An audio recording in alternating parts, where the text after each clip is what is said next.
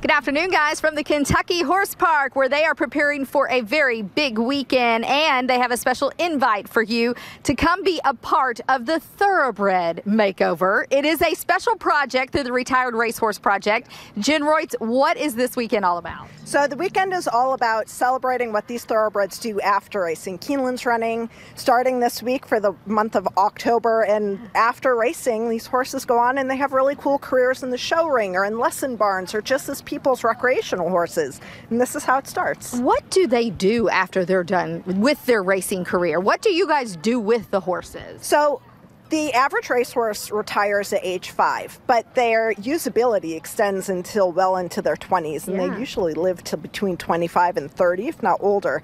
So after racing, they can be trained to do pretty much anything you would do with a horse. So here at the Retired Racehorse Project Thoroughbred Makeover, all of these horses are in their first year after racing, and they're being retrained to do something else. The ones behind us right now have been retrained to do jumping. They're either competing in show hunters or show jumpers. Mm-hmm. Um, and it's just, I mean, it's a good foundation to give these horses that serves them through the rest of their lives. A, a well trained horse is a protected horse, and so it's a great thing to do for these horses, for the industry, and the riders love them. And they're competing this weekend as well. Yeah, they're competing for over $135,000 in prize money. So we have horses coming in from all over the country. They get different prize money for winning each division that they're entered in. They get prize money if they are the horse that made the most starts, or the horse that sold for the most money, or the horse that was bred in a certain state and places the highest of all horses from that hmm. state. So there's a lot of incentives for the riders. And then these riders have spent the last 10 months training these horses, and they've hmm. invested almost $10,000 on average turning them from a racehorse into a show horse.